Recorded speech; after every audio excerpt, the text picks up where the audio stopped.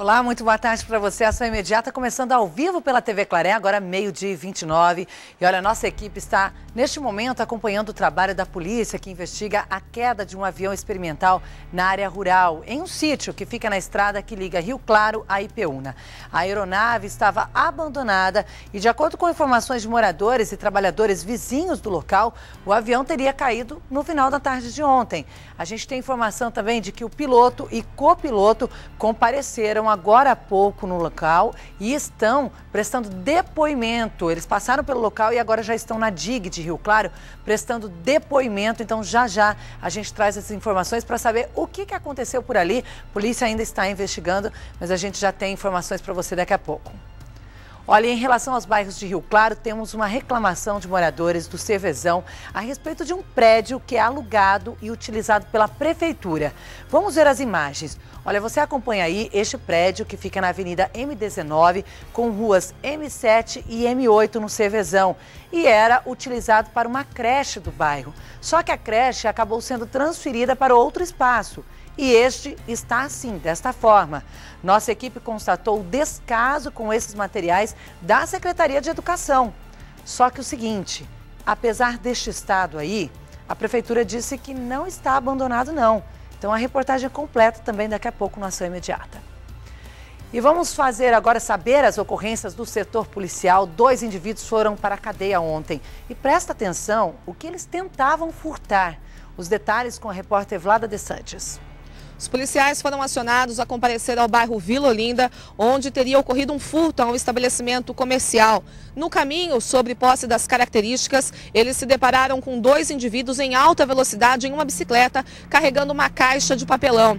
Eles foram abordados e dentro desta caixa foram encontrados nove chips de celular, 16 isqueiros, cinco maços de cigarro, quatro barbeadores, uma câmera fotográfica e dois potes de doce. Eles foram indagados sobre a origem do produto, mas não souberam informar. Eles foram encaminhados até o plantão policial e lá o dono do estabelecimento reconheceu todos os produtos como sendo de seu comércio. Esses dois indivíduos, um homem de 32 anos e o outro de 22 anos, esses dois indivíduos foram recolhidos até a cadeia e ficaram à disposição da justiça. Foram presos em flagrante por tentativa de furto. Obrigada, Vlada. E vamos agora mostrar o trabalho da Rocan aqui de Rio Claro. Ontem à tarde, os policiais localizaram uma moto que foi furtada em Tirapina. Veja só.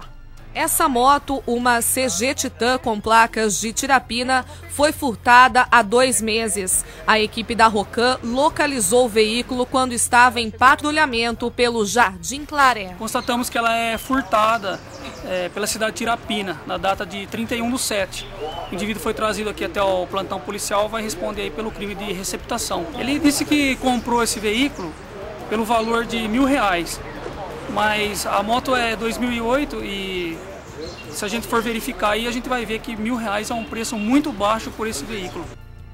É, e olha, o rapaz que estava com a moto informou ainda a polícia que chegou a fazer o documento do veículo e agora vai responder por receptação. E sobre o tráfico de drogas na região, ontem um casal foi preso em Piracicaba, na Vila Monteiro. A polícia recebeu denúncia anônima e foi até a residência indicada. Veja comigo o que acabaram aí, as equipes acabaram localizando no local.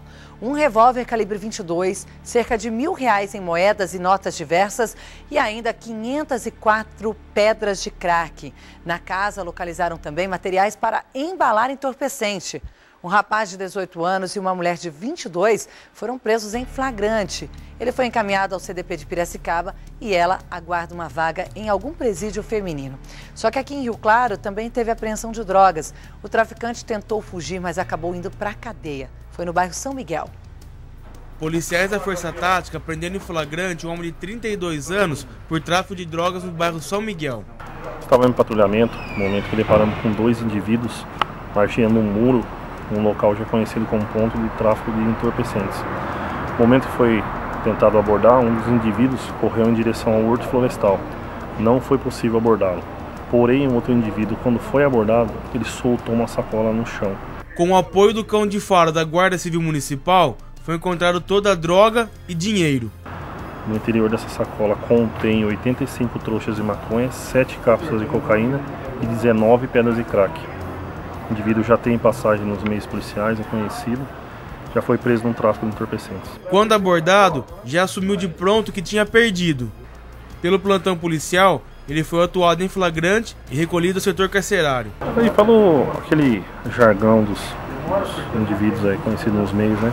Ó senhor, perdi, perdi, já era, perdi. Estamos aguardando a autoridade, possivelmente aí seja elaborado flagrante, vamos ver o rumo tomado pela autoridade. É realmente essa gíria que eles costumam utilizar mesmo, inclusive quando fazem vítimas. Perdeu, perdeu, mas desta vez as palavras foram para ele mesmo.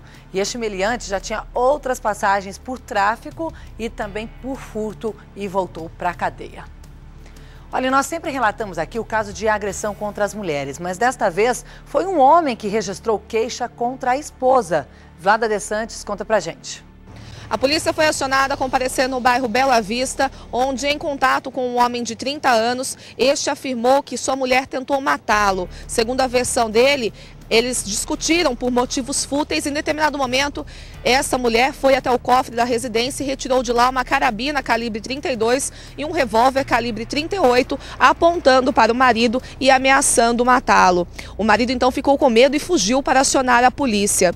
Os policiais então compareceram até a residência, onde, em contato com a mulher, ela afirmou sim que brigou, discutiu com o marido, porque ele retirou 600 reais de sua conta bancária sem autorização. Ela também disse que retirou as armas do cofre mas apenas para colocá-las no jardim da residência. Ambos foram conduzidos ao plantão policial, onde foi elaborado um boletim de ocorrência por ameaça. As armas estavam com a documentação em ordem e a mulher também tinha o porte de arma em dia. Olha, a mulher tem o porte, as armas legalizadas, porém se fez o que o marido registrou no boletim de ocorrência, controle nenhum ela tem, né? Então, está com uma arma que pode ser capaz. Ela disse que não, que não era isso que ela ia fazer, mas o marido disse o contrário e registrou um boletim de ocorrência.